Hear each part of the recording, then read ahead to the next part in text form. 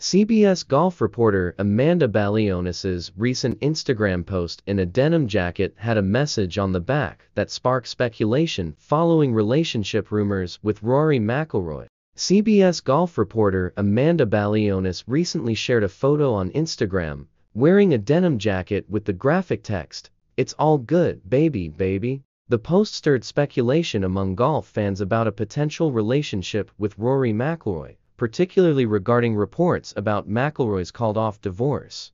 Balionis shared the beach photo from Montauk, NY, as the highlight of a five-image story on social media. She captioned the post, Moan Talk about off-week success, featuring herself enjoying drinks with friends by the water. One of the images in the story featured Balionis in an asymmetrical, form-fitting black dress, drawing spectators' attention. In the comments, one fan dubbed it a revenge dress, hinting at a possible narrative behind Balionis' fashion choice. This, coupled with the timing of McIlroy's called-off divorce, only fueled the speculation and intrigue surrounding Balionis' personal life and a potential connection with McIlroy. Another fan wrote, when your side piece finishes second at the US Open. Speculation about a possible romance between the Northern Irish golfer and Balionis intensified following McIlroy's initial divorce announcement from wife Erica Stoll. The rumors gained traction after Amanda interviewed Rory following his victory at the Wells Fargo Championship.